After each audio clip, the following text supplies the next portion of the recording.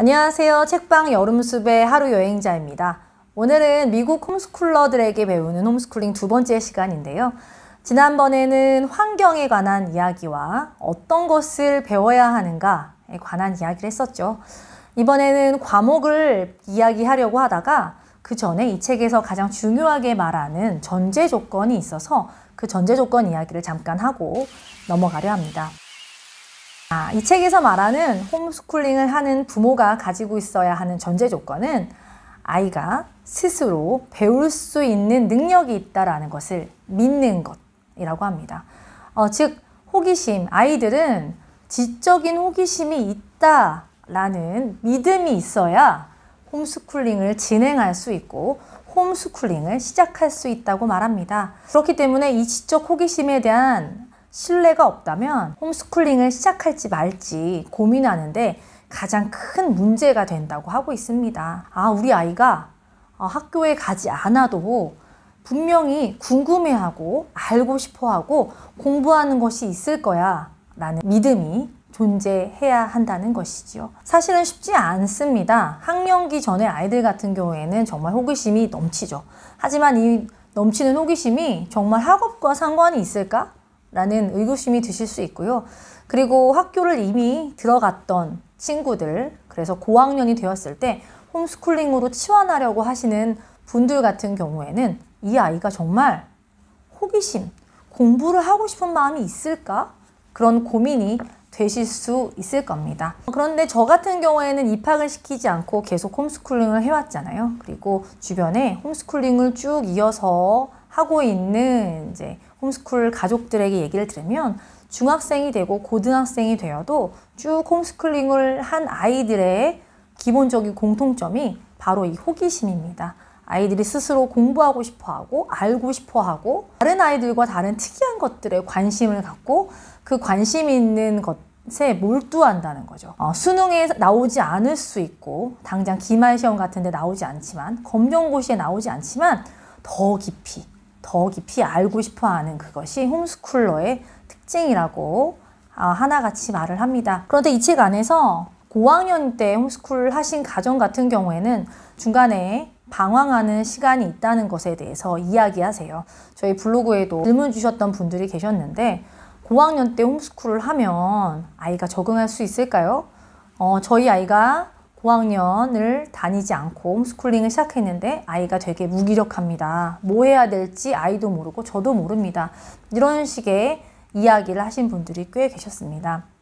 이 책 안에서 답이 있었어요. 그래서 뭐라고 하냐면 그 시간, 어, 그 시간을 방학 같은 시간이다 라고 말합니다. 무엇을 언제 어떻게 해야 할지, 어, 누가 해야 할지, 그 공부의 주체가 누구인지 이 모든 공부에 관한 규칙을 새로 정립하는 시기라는 거죠.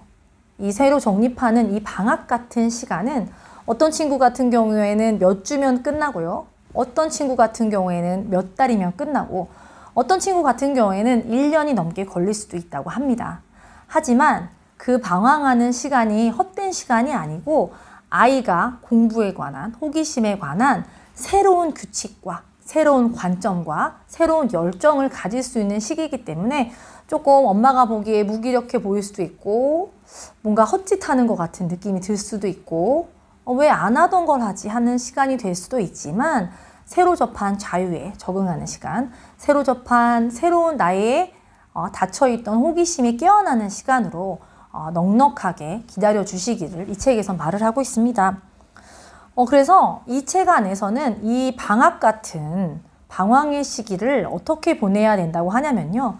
학교에서 썼던 문제집, 학교에서 썼던 그것들을 그대로 가져와서 시간표 안에 넣지 말라고 말합니다. 살아있는 책들로 아이가 꾸준하게 앉아서 글밥을 늘리면서 그 안에서 시간을 본인이 관심 있는 것들이 무엇인가 하나하나 찾아나가는 시간으로 만들어야 하고 무엇보다 부모와 함께 자연을 보고 조금 더 미술과 예술, 음악 등에 깊이 있게 빠져보라고 말하고 있습니다. 고학년이 돼서 홈스쿨 하신 분들 같은 경우에는 이 시간이 참 힘든 시간인데 이 시간을 방학, 잠깐 쉬었다가 다시 갈 수 있는 방학이라는 이름으로 명명해 주시니까 마음이 훨씬 편하고 어, 이해하실 수 있을 것 같아요. 아, 그리고 이 책엔 나오지 않았지만 저는 개인적으로 학교에서 배웠던 좋은 것들은 취하시고 또 홈스쿨에서 배울 좋은 것들을 이렇게 취해서 두 가지를 가져간다면 오히려 고학년 때 홈스쿨 한 친구들이 조금 더 어, 능력이 있지 않을까 그런 생각도 합니다. 예를 들면 그런 거예요. 아침에 일찍 일어나서 빨리 준비하고 학교에 갔던 연습을 몇 년간 꾸준히 해왔잖아요. 그리고 공부 시간과 쉬는 시간을 지켜서 하는 것도 그 훈련도 이미 되어 있고요. 그리고 책을 읽을 때 바른 자세로 책을 읽는 습관 이런 것들도 되게 중요합니다. 그리고 학교 다니는 아이들이 어, 홈스쿨러들보다 특별하게 뛰어난 것은 맞춤법인데요.